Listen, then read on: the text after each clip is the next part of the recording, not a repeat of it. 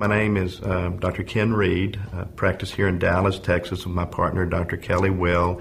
Various hospitals here, primarily Presbyterian Hospital, Texas Institute of Surgery, Forest Park Medical Center. We've been in practice for 20 years in Dallas, and for most of that time have been involved with um, the treatment of headaches, particularly with neurostimulators here.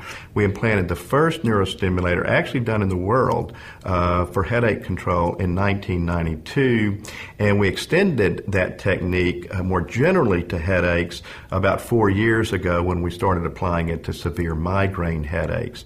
Over the years, I've implanted uh, hundreds of neurostimulator leads and full neurostimulator implants for the various types of headaches.